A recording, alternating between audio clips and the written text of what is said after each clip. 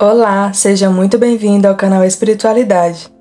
Voltando ao plano espiritual, buscamos novamente a colônia dos rejeitados e dessa vez fomos levados até a ala dos recém-chegados.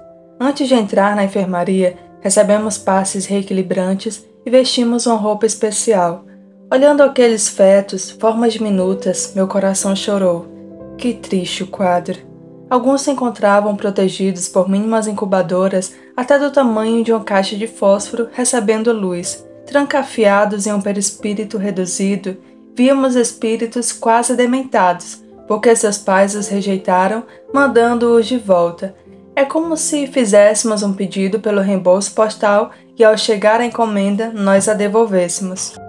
Uns, ao receberem os primeiros socorros, recuperam-se e outros julgam que, permanecendo diminutos, terão uma nova oportunidade. Enquanto isso, os pais e os médicos irresponsáveis estão em outra, mas a vítima geme de revolta nas inúmeras incubadoras das maternidades espirituais. Chegamos perto de um lindo e forte bebê. O aborto fora realizado estando ele com cinco meses de vida fetal. Este espírito foi muito machucado Juntamente com ele desencarnou a mãe, mas ela não se encontrava ali. Por mais que os médicos tentassem despertar-lhe a consciência, ele relutava. Encontrava-se na posição fetal, quase imobilizado. Ficava horas e horas chupando o dedo. Que triste o caso. A mãe, uma jovem de 16 anos, gemia com a dor do remorso. Interrompeu não uma vida, mas várias, com seu ato impensado, rasgou inúmeras folhas do planejamento divino. E o pior é que isso está acontecendo a cada minuto. Fui saindo devagar. No meu coração estava uma coroa de espinhos de tristeza por tantos absurdos praticados por pessoas sem fé e sem caridade. Os jovens estão cada vez mais livres, mas à medida que se soltam em libertinagem, vão ficando presos de remorso e dor. Se os homens apalpassem o seu corpo e buscassem nos seus antepassados a verdade da vida, veria que não somos, quando encarnados, mais do que um amontoado de ossos cobertos de albumina e fibrina. A carne que aloja a nossa alma um dia terá de se decompor. Por mais que ela seja embelezada e tratada, não suportará o passar do tempo. A sua composição de oxigênio, hidrogênio, nitrogênio e carbono nada é diante do espírito criado por Deus, composição divina retirada do universo. Se o homem se autoanalisasse, não bateria tanto a cara na porta do sofrer. Caminhamos até o chalé 8, onde as tias cuidavam de Mariana, que estava em preparo reencarnatório. Ao ver Rosália, correu a lhe abraçar e as duas conversaram muito. Rosália tentava convencer Mariana a reencarnar, mas esta dizia: Para que, senhora, se meus pais não me querem? Já tentei duas vezes, mas agora será recebida, acredito eu. Espere, irmã Rosália. Mariano nos deixou e tinha de submeter-se a tratamentos necessários ao retorno à carne. Posso ficar aqui para acompanhar a volta de Mariana? Sim, irmão, teremos prazer em tê-lo conosco.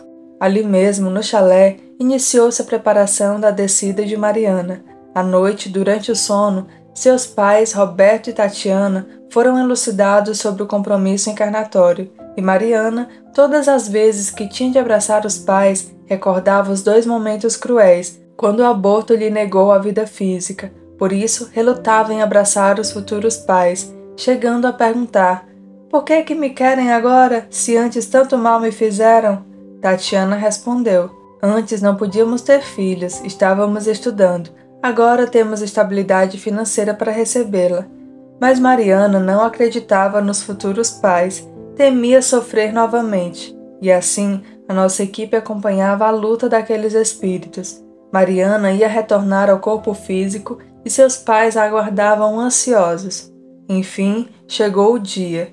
Tudo certo, nós éramos só emoção, principalmente quando Mariana foi ligada pelos construtores divinos ao útero de Tatiana este grande guardião a acolheu com tal carinho que até os encarregados deste belo trabalho sentiram-se intrusos.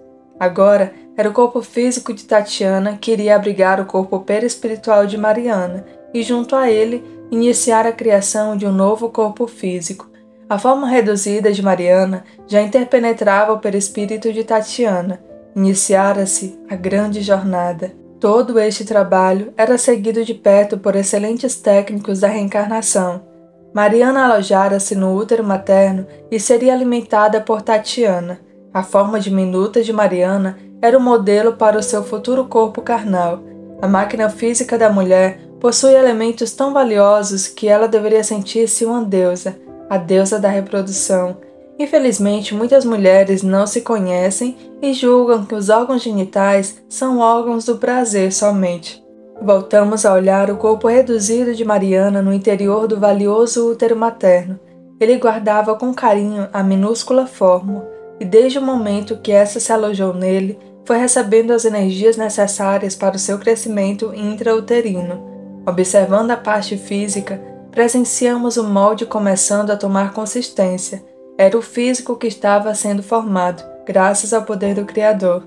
Na volta de Mariana, compreendemos a bondade de Deus. Ali, naquele pequeno corpo, encontrava-se uma chama de vida, e graças a ela, logo estaria em condição de recomeçar. O espírito não retroage, mas a forma física sim, e Mariana voltou a ser infinitamente pequena para galgar a glória do renascimento. Meu Deus, que maravilha! exclamei extasiado diante do milagre da vida. Desde o instante do ligamento, o corpo de Tatiana fornecia os elementos necessários ao corpo e ao espírito de Mariana, e o embrião, todo iluminado, iniciava uma longa caminhada, realizada a sublime ligação pelos técnicos divinos, nada mais nos prendia ali e retiramo-nos. Deixamos a casa de Tatiana e aproveitamos para prestar auxílio nas casas abortivas, que são verdadeiros matadouros. Estávamos trabalhando quando chamados fomos até a espiritualidade. Na colônia dos rejeitados, a doutora Isis nos esclareceu. Luiz Sérgio, precisamos prestar auxílio a Tatiana, pois ela está em vias de abortar. Ela não quer a criança? Interroguei apreensivo. Não é isso, irmão. Devido aos dois abortos anteriores, o cordão umbilical está apresentando um quadro que pode dificultar o andamento da gestação. Iremos em auxílio a Tatiana e recordei que sua equipe de estudos talvez desejasse estar presente. Obrigado, irmã, serei eternamente grato. E assim fomos para a casa de Tatiana, onde a encontramos muito bem com sua gravidez no quinto mês. Quando Tatiana se deitou, os médicos aproveitaram para prestar socorro.